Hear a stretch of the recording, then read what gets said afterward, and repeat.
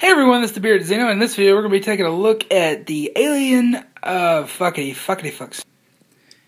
Hey everyone, this is the Bearded Xeno. Welcome to the very first installment of a new series that I'm going to be doing is the Alien Hive, which is, you know, anything and everything alien, video games, collectibles, and all that good stuff. This video will also be featured in our Collector's Corner series, and, uh, yeah. As you can see here, we have the Super 7 Retro Reaction alien figures, and these things have a bit of a story. And uh, let me set the camera down, and I'll explain it to you, and we'll we'll start off uh, showing some of these close-ups and stuff. I'm not gonna unbox them because they just look too damn good carded. I mean, they're really cheap, and I think I might buy another alien because the bubbles kind of messed up on it, and that's the one I really want to open because it looks cool. so I might buy another alien here in the future and open that one up. I'm not sure, but yeah, definitely these things look really good carded, so I'm not gonna unbox them, you know, uncard them. Just gonna leave them like that and hang them up there on my new shelf. As you can see, there's the Grid Alien and Hudson up there, and it's empty. I'm in the middle of moving some stuff, so yeah. So I get to look at some of these figures. If you don't know the story behind these, in the late 70s, Kenner actually made an entire line. It was a prototype line of alien figures. Give me one second. Okay, there we go. And the the big deal was uh, after their success with Star Wars, they wanted a new thing. You know, the next big thing. As you see, its package is actually made out to be just like a classic Kenner's packaging. You know, collect all five, and it's uh, where's the center in the camera? They manipulate teeth to attack.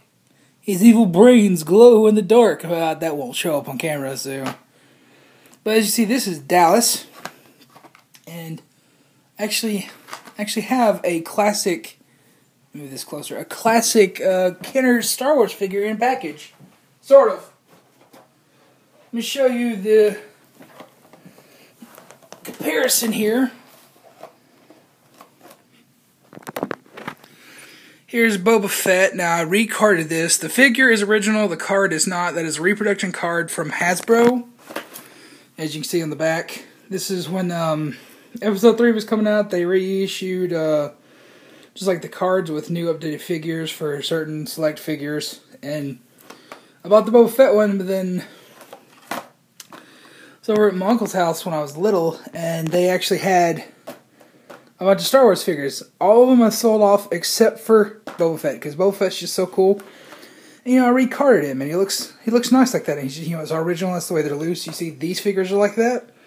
But as you can see, they pretty much copied the original Kenner package design, and that's really really cool. I like that. That's definitely playing on you know nostalgia on on the retro factor, and that's Really, really nice. But let me put the iPad back down. Yeah, here's Boba Fett up close. I'm not going to take him out of the package. Or, or, the little protector card that I have him in, but that's really cool. I need to get a protector card for these. I don't know, they're cheap, so. Uh, these only run you about 10 to $15 a pop, depending on where you get them at. But here is Dallas. Where's the lens? And Dallas is probably the one that's going to be least valuable because they had to make this one from scratch. The none of the prototypes for Dallas actually existed, and uh, oh, let me finish the story. Oh, sorry, the sto- the story for these figures. I told you about the Star Wars, right? Kenner made the Star Wars figures and it's like, oh, we look for the next big space thing because kids like space stuff. So we got to find something big that's space wise so we can sell toys, toys, toys, toys, right? So the next big space thing that was coming up, specifically from 20th Century Fox, they just partnered with them was Alien. And they just got some still photos from the set and everything, and they started building the figures around that, and then they actually saw the movie and they realized, oh shit, we cannot sell these to kids, so they canceled the line. Very few of these figures are ever made. I think only one of each prototype was made, maybe multiple of each prototype. I think two aliens exist, but there's less than 10 of these things in the world, you know, the original ones, because they never went into full production. It was just the prototypes. But Dallas, his prototypes were completely destroyed, lost to time, and they had to build this figure from the ground up in the classic style from reference photos of that prototype. And I think they did a pretty good job. Uh, it was on one of the, the DVD releases of Alien. They actually show the prototype figures. And from what I remember the Dallas one looking like, this is a pretty accurate representation of that.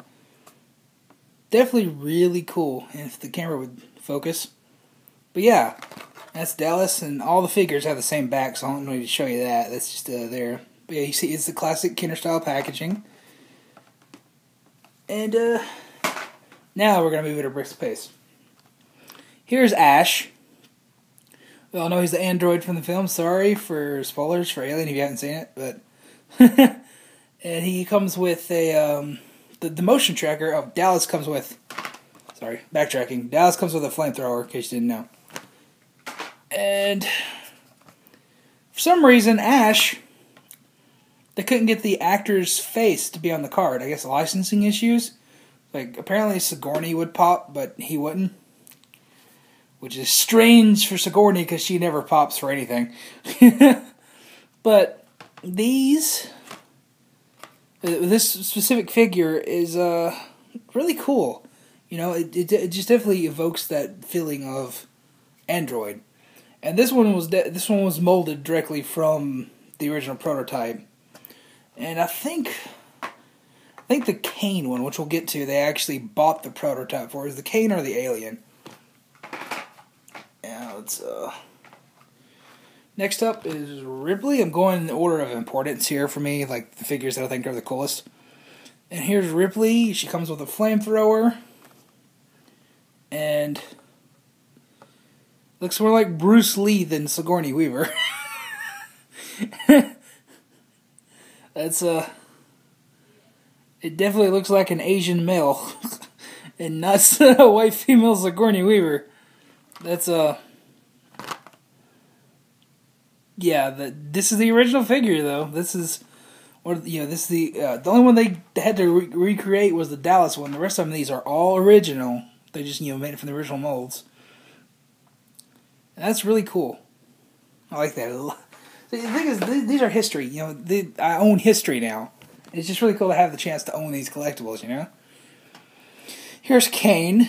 It's my my personal favorite, just because it's you know it's different. He's in a spacesuit and his his uh, bubble pack is slightly bigger than the rest of them, as you can see, because he's in a bigger spacesuit. And it actually has a picture of him looking into the egg there. And his helmet is removable, so that's his accessory. So that's kind of sucky, but. And there's the side of the card. And of course, they all, they all have pegs. I haven't been showing that, but. And yeah, that's that's really, really cool. And last but not least, the Alien. And boy, oh boy, does this thing look cool. I mean, it's not very articulated, but it is detailed. This sucker is detailed. And when you take him out of the package, you can take his uh, clear dome off and move the slider up to actually have his inner jaw come out. Shows it on the back there, but uh, that's uh yeah that's really really cool. I, I like these figures a lot, and uh, the one bad thing about this one, UPS they damaged my box. You can see it in the the the package video that I got. The corner of this bubble is damaged, and that really really sucks. But you know what can you do? I'm thinking about ordering another one of these because these are really cheap. Like these are 15 but you know they do sell the Alien separately. They'd about buying another one and actually opening this one, so that'd be pretty cool. But uh, let me uh, go back and get a good wide shot of all of these. And there you have it, all of them all, all lined up on my wall where they're gonna stay, carded. Because they look really good like that. They display really, really good, and I just don't want to devalue them, you know, because that's history, you know. I like that. I, I like that a lot. I'm really happy with this purchase. I wish the sunlight would get out of Ash, then it goes to Kane. Well, he dies first, anyways. but uh, yeah, uh, let me know in the comments down below what you think about these uh, figures.